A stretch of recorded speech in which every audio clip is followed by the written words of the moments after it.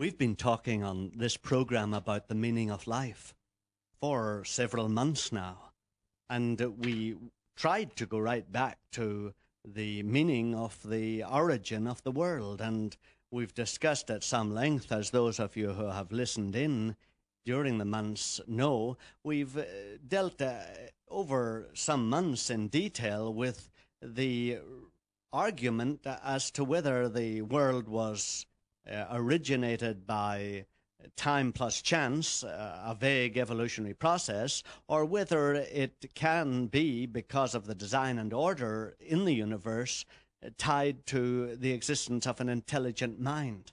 And then you remember we tried to look at history and discover if that intelligent mind had communicated with us in any way.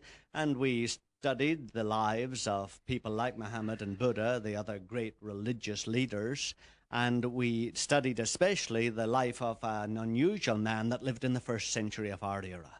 And you know how we then eventually ended up uh, looking at the documentation behind that ancient book that so many of us have forgotten about long ago, the book that is known in Greek as Ta Biblia, or the books, or is translated into English as the Bible.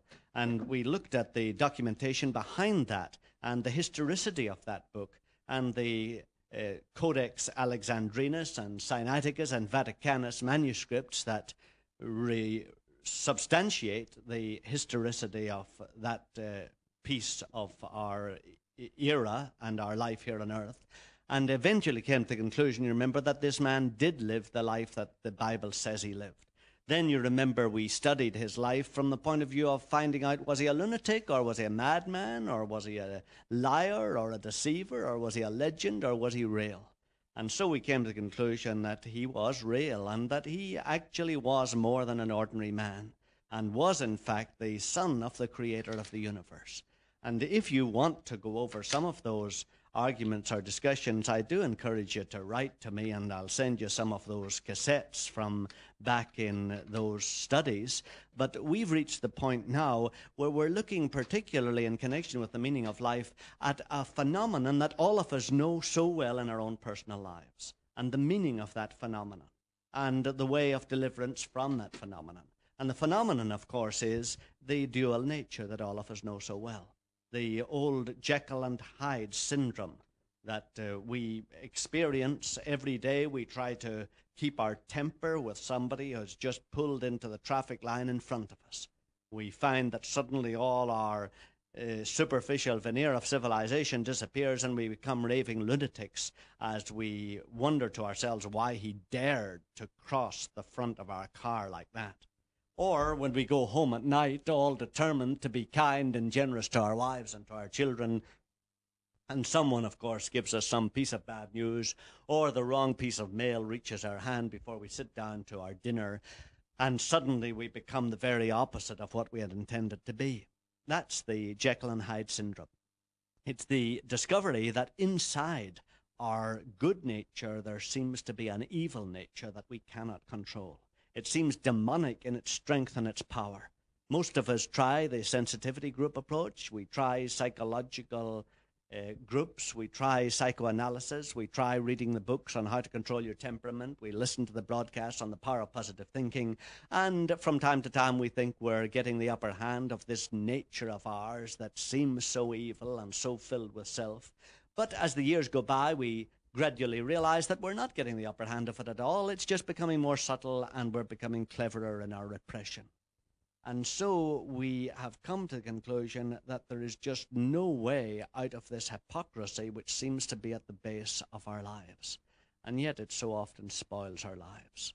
We look at our wives, we want to love them with a pure and a clean heart, we want them to know that we love them, and yet there comes up before us pictures of some other woman or some other scene, and we find ourselves filled with lust at a time when we want to be filled with love and kindliness. Or we express loyalty and faithfulness to some friend, and at the same time, we find rising within us a desire to take advantage of the friendship and to lie to him. And so we discover within us a dual nature, a good nature and a bad nature, an evil nature and a kindly nature, a loving nature and a non loving nature, a patient nature and an impatient nature.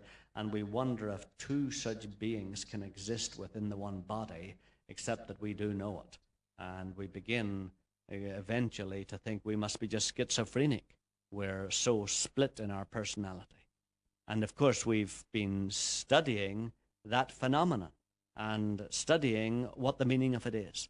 And you remember what we have said is the meaning of it is found in the very setup of the whole of creation. If you take the attitude that creation is just a meaningless blip in the infinite universe caused by an impersonal evolutionary process, and that there is no God and no meaning to life, then you're faced with the fact that you're one of four billion other people in the world trying to scramble for uh, as many of the material resources as you need to keep body and soul together. And you're filled immediately with all sorts of anxiety, angst, fretfulness, at times avarice and greed to get your share. And that, of course, fills you with all kinds of desire to do the other person down if it's to your advantage.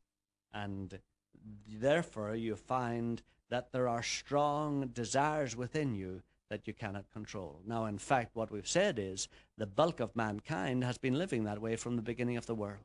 There are great numbers of men and women down through the centuries that have, li- have lived as if there is no creator at all and as if they have to depend on themselves to survive. And so they have developed and bred into their children and children's children and into your forefathers and my forefathers a strong self nature that wants its own way, whatever it costs anybody else to get its way.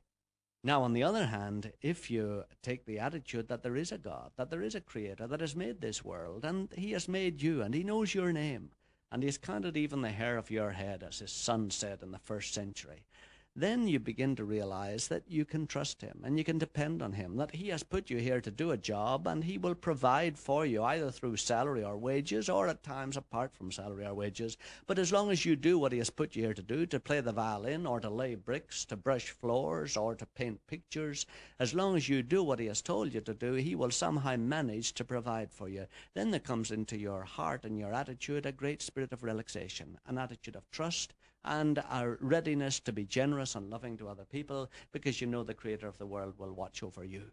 And so there develops within you a good nature, a nature that is filled with kindliness and a love and a concern for other people.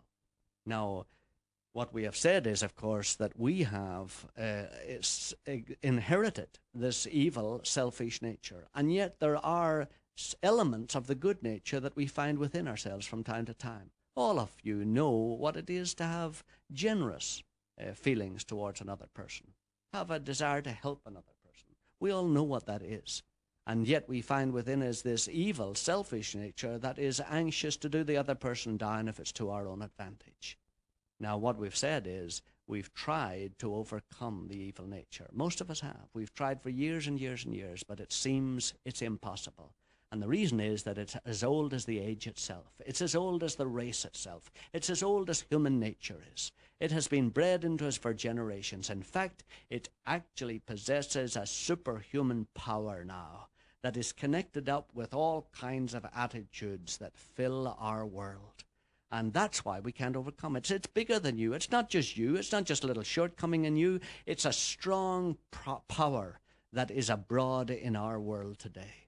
And in fact, uh, the Creator knows that. And what we have said is the Creator, because He knew that there would be this kind of power perverting our personalities, planned for a deliverance for us. He knew what you would decide to do. He knew what I would decide to do. He is cleverer than any computer. And he was able to foresee that we would decide to live in this world as if there was no creator, and that we would, in fact, pervert our personalities together with our forefathers to the point where the tendency towards anger and envy and pride and lust was so strong that we would not be able to resist it. He, in fact, foresaw that And in the second second, when he conceived of our creation, he conceived of destroying us and remaking us completely again. And that is the amazing cosmic miracle that took place before the foundation of the world. He, in fact, did that. He destroyed us and remade us in his Son Jesus. And because of that, we are able to choose to live either one way or the other.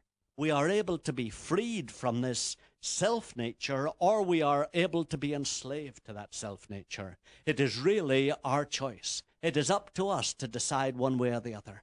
Now, you may say, well, is that all that it takes to bring this cosmic miracle that took place in eternity into time? No, there is something else. There is something else that connects up with even old H.G. Wells' time machine that is miraculous in its outworking. Let's talk a little more about that tomorrow.